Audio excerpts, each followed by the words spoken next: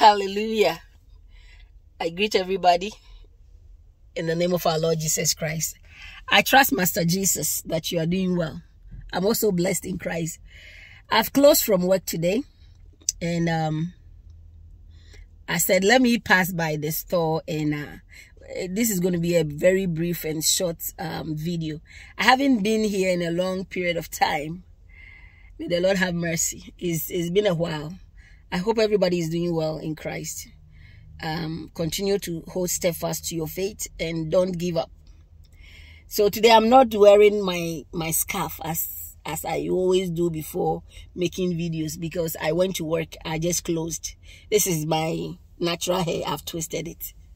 Yes. Um, so I said, let me pass by Walmart here um, in North Carolina where I live. Um, and so I went into the store, got whatever I needed to get, paid for it at the self-checkout area.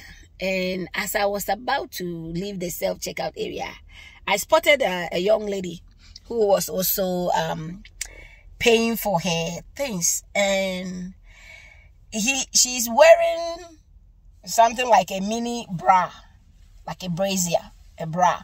So you can see her belly, her back, her bare back, bare belly. And he, she's wearing a short, a short pants. So her skin, like, she's like half naked to me, almost naked.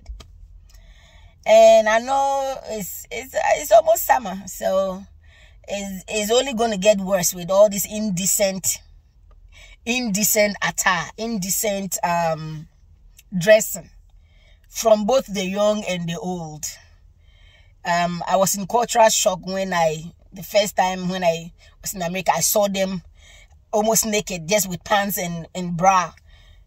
And some of them they don't even have the bra. I'm like jesus.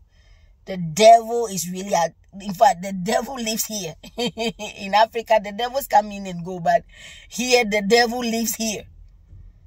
The devil is highly ed educated in america. So he he tread with them with with anyways um so i looked at her. Something made me look at her. I looked at her and i saw two beads beads b-e-a-d-s beads. Very small small ones. The small tiny beads. Two of them two strands of beads is by the waist belly waist area and uh, i know it's fashion because i've seen most of these young ladies even older ladies they have a lot of beads on their ankle around their ankle all these people are spiritually chained like dogs I tell you the truth. they are chained. But in the physical realm, they think they are following trend and fashion and everything. But if you are if you have all those things, you are chained in the spirit. Pray for your deliverance. And I pray that God will deliver you.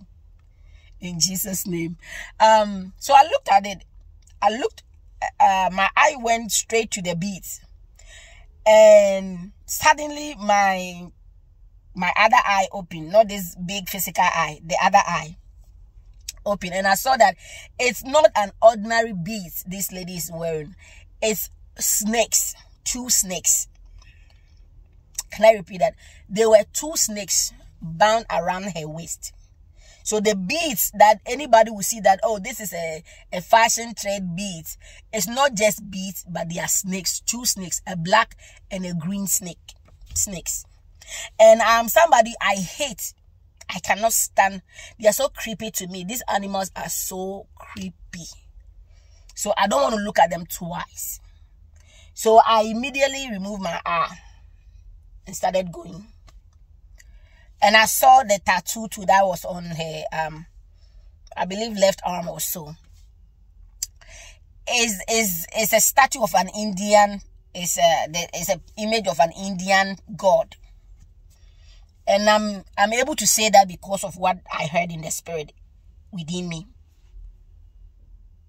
And the lady has um earring in the nose like this. You know, they have this round earring that that hangs here. These are all chained. Anybody that does they are all chained in the spirit. I tell you the truth. The earring is here. There's some here, here, here, here, here, all over here. Last time someone was asking under one of my videos, Mama, why are you not wearing uh, uh, earrings? Sister, I don't need earrings to look like a, a woman. I was born a woman from my mother's womb. So I don't need jewelries to justify my womanhood. It's only those with low understanding in heart. They lack understanding. That's why you put access you accessorize your body. I am according to Psalm 139 verse 4, I am wonderfully and fearfully made. And my soul knows that too well. I don't need to please you. I don't need to please anybody. and I say that with all humility and in the understanding of mind. Amen. All right. So as I'm going, I begin to hear in my spirit that you see those snakes that is bound to her waist. I said, Yeah, I saw it. It's a spirit of lust and is imputing lust into her. And so everything that this young lady will see she will go and do. Every trending thing she will go and do because the lust, the God of lust is within her. See, as you tattoo yourself from head to toe, you open your one of the gateway, which is your the, the sense of touch, you know, your body. You open is one of the gateways to your soul. You open it for demons to come in. And just like the man in the Gadarenes, was possessed with legions of demons. Many young ladies and young men are walking bound in the realm of the spirit because they are possessed by legions of demons. It's rather unfortunate, but it is what it is. If you're a mother, pray for your children, pray, pray for your daughters, your teenage daughters, your, you know, those in their early 20s, pray for them.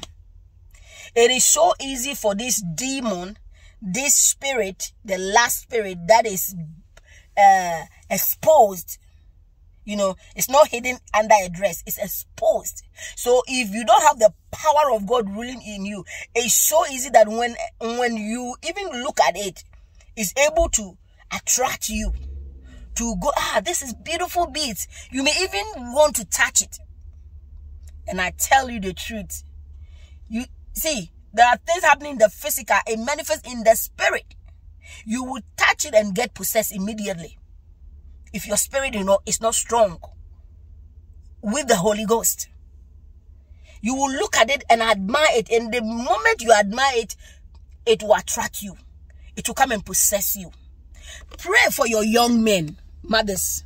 Even if you don't have young a young a, a young son, Pray for mothers with young son, children. You know, this young man will see this young lady in tattoos and jewelry, uh, nose, uh, uh, whatever, and these beasts full of lust, the spirit of lust. And they will begin to lust after them.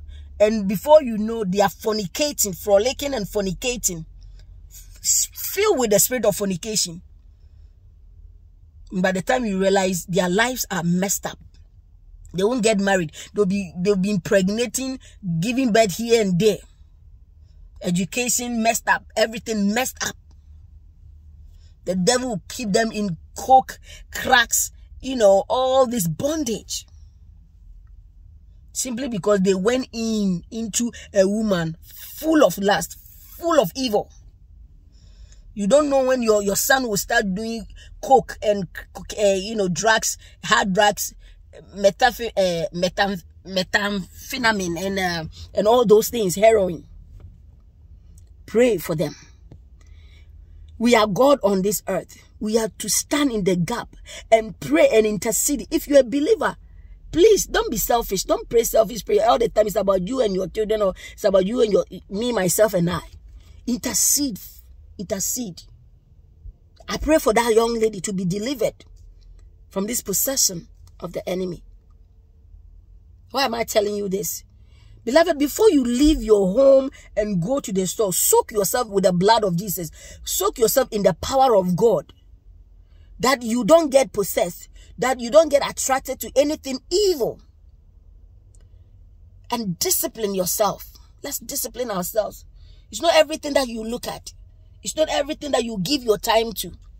Because whatever you give your attention to and begin to last after, it can possess you. That's what happened to Eve in the Garden of Eden. He, she gave it a good look and suddenly she was attracted by lust. And then what happened? It entered her heart that this is a good thing to, to go in for. Young men will look after these ladies have naked body. As summer is coming in America, many young men will fall for, for these young women with, with, with the uh, indecent dressing, full of lust. They will possess them. They'll get attracted. They'll get possessed. They'll start fornicating. That's how they will end up in drugs and their lives will be turned upside down. And that's how Satan wants us. Let's be careful. Pray for the young men. Pray for the youth. Let's pray. Intercede for them. Even if it's one minute. Father, deliver the youth. The youth of this days. Deliver them from every form of bondage. Every form of addiction. Deliver them. And the God of all flesh will have mercy. God is waiting on you to do that intercessory prayer for heaven to move. For whatever we bind on this earth is bound in heaven. And when we lose it by faith, it's already loosened. May God help us. May God bless you. May God give you the heart of discipline.